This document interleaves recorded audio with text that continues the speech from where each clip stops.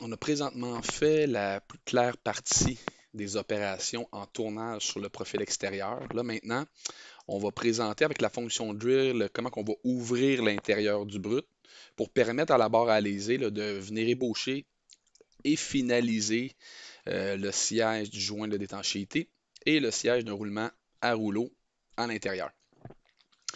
Donc, avec la fonction drill, donc qui nous offre qu'un seul outil à, partir de notre liste d'outils, on devrait le rentrer une certaine vitesse de coupe en fonction du RPM ou de la vitesse de coupe. Donc, euh, ce sera à nous de voir cette valeur-là. Une avance par dent par tour et la position de la station qui serait T11 avec le tool number. Donc, tu es dans la plupart des pièces où on va percer sur le mandrin principal avec la méthode où on positionne la pièce à l'origine. Donc, le point se trouve à 0,0. On pourrait avoir comme d'autres situations que l'origine euh, ne se situe pas sur le devant de la pièce. donc, on va être à un autre endroit que le 0,0. Nous pourrions euh, percer comme l'intégralité du brut en venant euh, faire une sélection sur le brut à moins 3.75. Donc une certaine comme reconnaissance du point.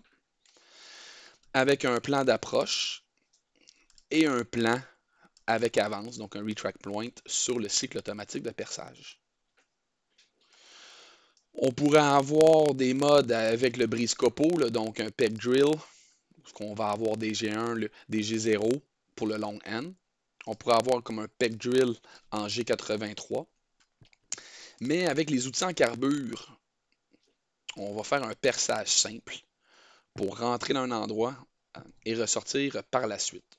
On pourrait faire une compensation du bout de l'outil avec une valeur euh, de dégagement de la portion le cylindrique, un huitième de pouce plus loin. Il faut quand même faire attention avec la longueur réelle de l'outil pour pas que le mandrin qui supporte l'outil lui rentre en collision avec la pièce.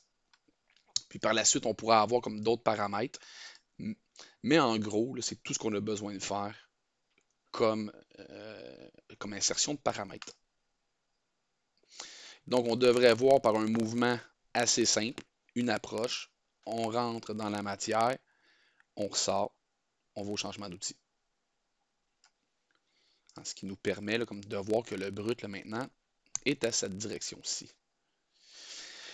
Et tant qu'à être à l'intérieur, donc on peut faire un rough et un finish, mais à partir des opérations euh, pour l'intérieur. Donc, euh, hein, je vais lui générer comme un canned rough à l'intérieur, donc en partant du chanfrein ici, vers cette ligne-ci, dans mon profil de révolution.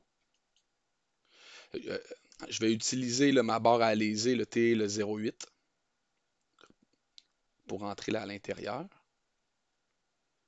On va lui laisser quelques euh, surépaisseurs, mais automatiquement, en prenant en compte la position et le type d'outil, on devrait avoir une représentation comme du côté des bauches qui est à l'intérieur.